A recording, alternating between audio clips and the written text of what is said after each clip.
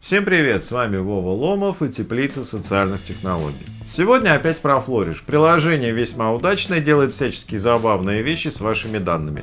Например, гонку графиков. Но приложение не совсем простое, поэтому пришлось разбить знакомство на два видео. Итак, вот такой график мы создали в прошлом видео, но до конца процесс не довели, а именно не опубликовали его в интернете. Нам нужен экспорт и паблиш. На платном тарифе вы можете скачать даже HTML и встроить его на сайт вообще без сучка, без задоринки. На бесплатном только через скрипт с сайта Flourish. Зато на бесплатном можно скачать фото. Бывает весьма удобно, если у вас график не интерактивный.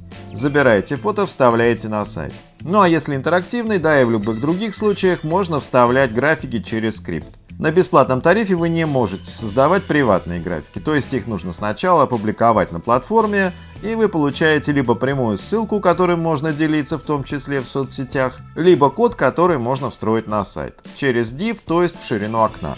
Берем какую-нибудь запись и вставляем как HTML-код. И получаем вот такой результат.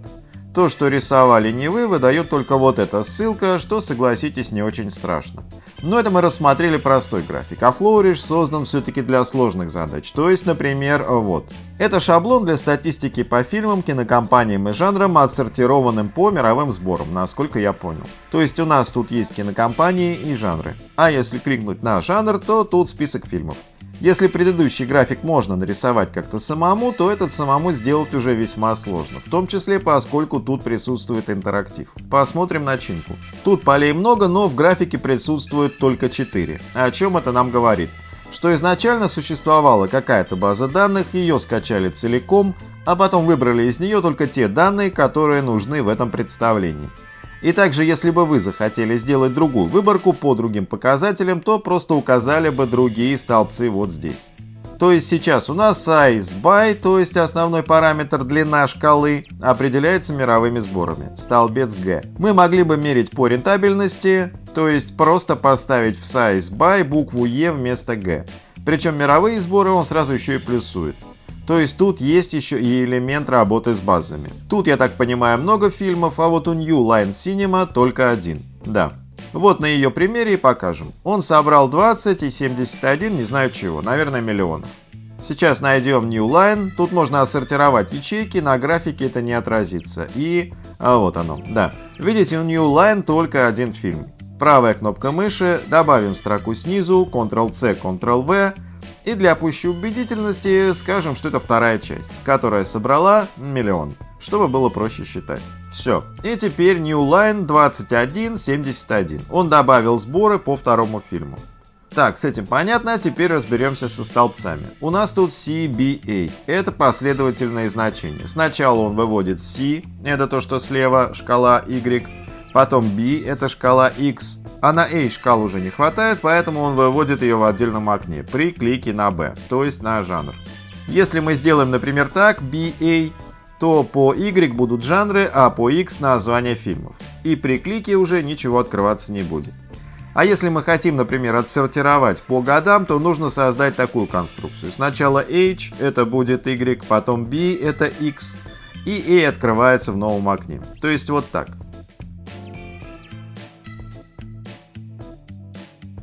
Ну и еще раз, если мы хотим измерять не сборы, а, например, рентабельность, то здесь меняем на E. Рентабельность он также плюсует.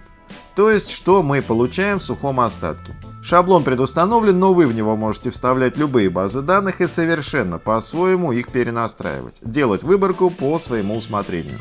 А если учесть, что настройки шаблонов весьма тонкие, можно создавать уникальные графики, не похожие на другие.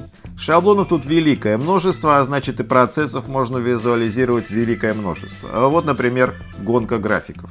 Очень, на мой взгляд, эффектно выглядит. А по сути это просто база данных с какими-то показателями, разбитыми по годам. И если у вас есть под рукой какая-нибудь похожая база данных, то вы ее можете перевести в данный вид в три клика. Единственное, если у вас столбцы не совпадают, здесь нужно переназначить буквы, действуя по аналогии, как в предыдущем примере крайнем случае методом научного тыка, который зачастую более эффективен, чем многолетнее изучение темы в ведущих вузах страны.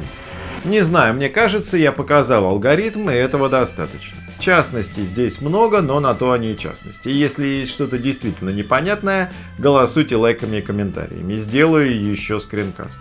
Но обязательно в комментариях пишите, что именно непонятно. Понятно, что непонятно может быть все, но если есть действительно важный процесс, который я упустил, я его обязательно покажу. Все, подписывайтесь на канал, у нас тут много интересного, ставьте лайки, оставляйте комментарии, ну и любите друг друга. Thank you.